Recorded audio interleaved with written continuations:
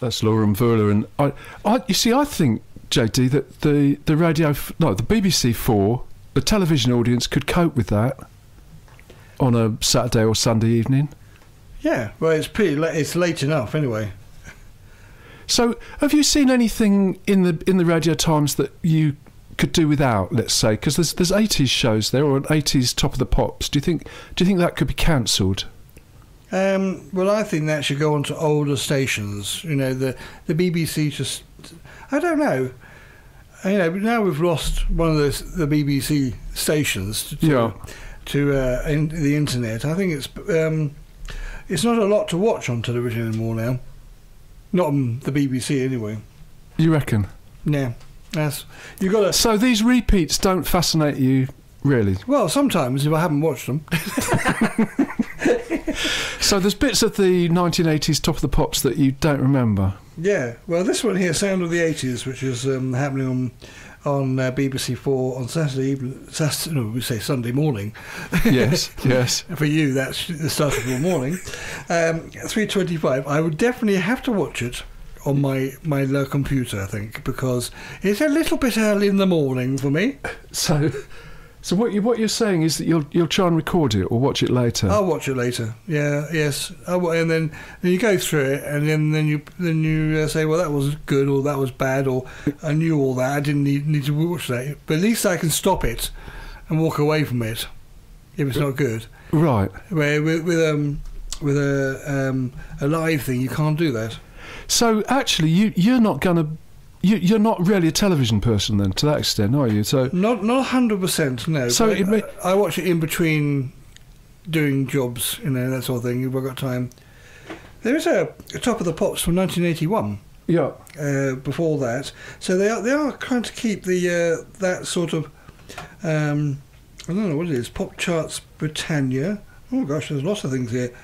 But you got you got to watch all night, unfortunately. Yeah, but a lot of that has already been on. Has it? They're repeats. So they're, yeah, it says, but they all repeat. Well, not all of them, but some of them are. Quite a lot of them. So, so, but maybe it's just me. See, I, I, I think they the. This Are is you, are you a repeat? Wh- I might be a repeat. Yes, I'm a repeat of what, of what I've been.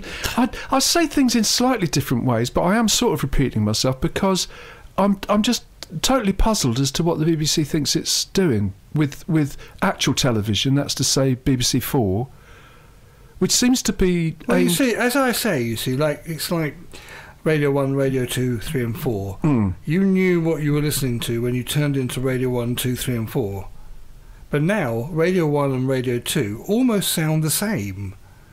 Well, yeah, but J, J, production, JD, look, you've, you, you you said that last week as well. Which, Yes. So, but for for new listeners, that, um, I'm just going to move on a little bit Hmm. because they do seem to have a very clear distinction between this. Uh, well, let's say this century and last century, which we we do sometimes talk about. So, music from this century is is being generated by Radio One Live Lounge, let's say, and it's not aimed at television at all. Uh, whereas BBC Four is aimed at people from the last century. It's all repeats, and normally it doesn't recognise whatever's happening on Radio One, except in the case of Mumford and Son and uh, Coldplay. Well, where are they? Well, are I'm- they are they classic already, or are they quite new? Hmm. Pass. We don't know really. But we don't know. No, no. I mean that's a different show. The We Don't Know show is on a Tuesday. This is Thursday. So we were supposed to know on this programme, are we? Well, I don't um, think so. No, no. But that seems to be how it is. It, because I didn't meet anybody. I have been asking the question. I have been repeating myself. There wasn't anybody from the Radio One Academy or Radio One last week who said anything at all about radio about BBC Four about any of the big weekend being on television. It, they were mentioning the live lounge. They were mentioning the iPlayer. Hmm. Um, obviously, the, the YouTube, Vevo, all that stuff's going on as well. So But- do, you, do you think it was worthwhile going to it? For me to go to Mm. the academy, Hmm. yeah, definitely. Right, you learned you learned something. Oh, d- yeah, definitely. Look at Chris. Chris. Chris is here. Is so he really? He I is. can't see him, folks. He's no, coming he in is. from behind He is me. here. So what I'm going to do is play um, play some Tom Odell Yup. and um, We'll let him in. just work out whether whether this is BBC Four material.